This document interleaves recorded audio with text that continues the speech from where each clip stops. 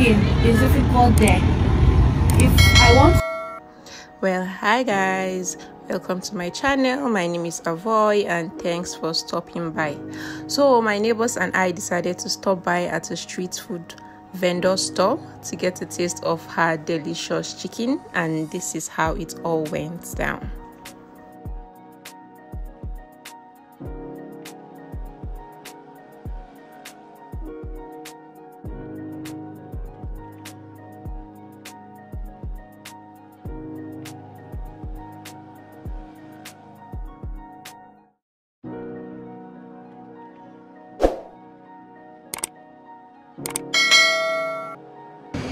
well this video is about a beautiful fierce and hello hello everybody. she owns a small scale chicken business known as chicken nation and it's halal.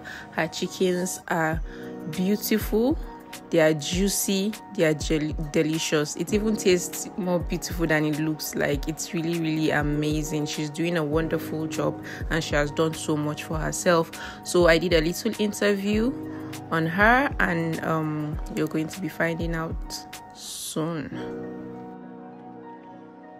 This is all about madam alice's chicken nation stall. She's a hard worker she's relentless. She does her business effortlessly and she enjoys it. Her chickens are juicy well grilled and it's usually served with a pepper sauce, a very yummy pepper sauce, and the plantains to go with it.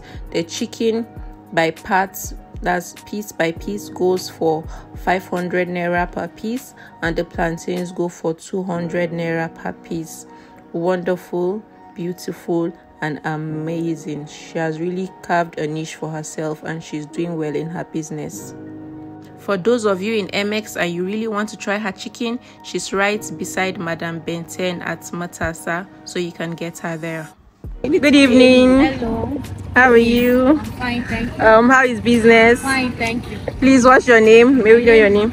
My name is Alice Okoh, but my business name is Chicken Nation.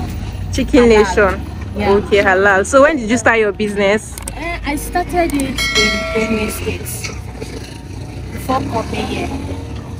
But because to get the chicken is difficult there.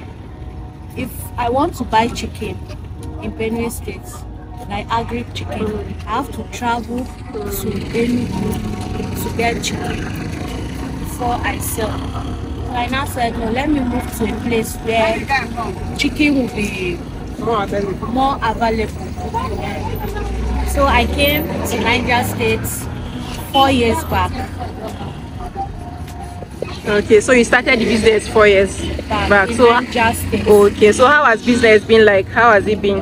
Um, business, uh, we thank God, and it depends on how how it depends on how you produce your goods. Okay. Like if you produce the goods to be marketable, people patronize you. Okay. But you just produce it all in the name of you want to make the money. Hmm. The money first, no. Okay. You have to get people to like. You have to get people to like what you are doing first. Okay. Okay. So how do you source for your chicken? How do you source for your birds? Kure market. Okay. I have customers there. Okay. Um, All right. Getting yeah. a great chicken here is not it's, it's, it's not, not difficult. difficult yes. Okay. Well, so I wish you all the best thank and you, thank you for granting this interview. Best of luck.